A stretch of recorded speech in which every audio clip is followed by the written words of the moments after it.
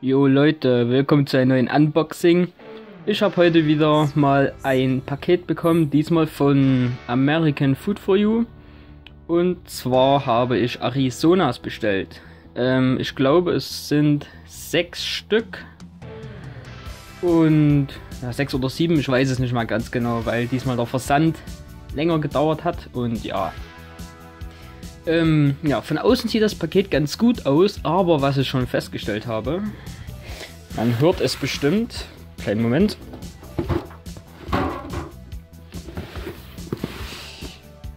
Verpackt wird nicht gut sein. Ja, wir schauen uns dann die Dose mal an. Ähm, ich werde es mal schnell öffnen. Gut.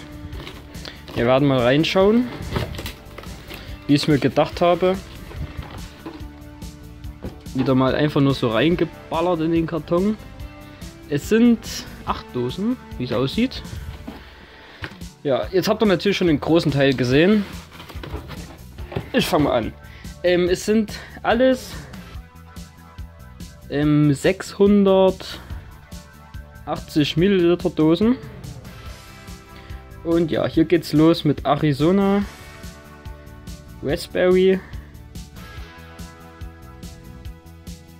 Sieht eigentlich ganz nice aus. Ja, die Arizonas sind alle aus USA. Hier der Arizona Lemonade. Haben alle Pfand. Also das Pfand ist draufgeklebt natürlich. Ja. So. Hier haben wir Arizona Orangeade. Den wollte ich unbedingt mal haben. Weil ich mag eigentlich Orange. So. Was haben wir noch? Hier. Arizona Half and Half Tropical.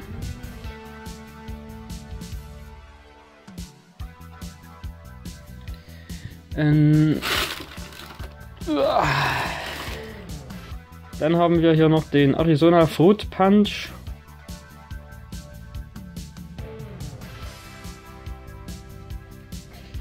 So. Arizona Iced Tea Cranberry Juice. Der könnte ziemlich gut sein. Könnte. so, noch zwei Dosen. Wow.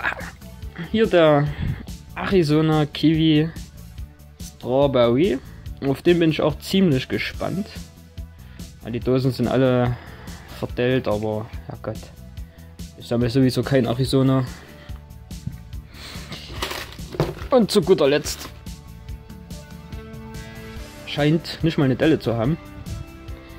Der Arizona Grape. Ja.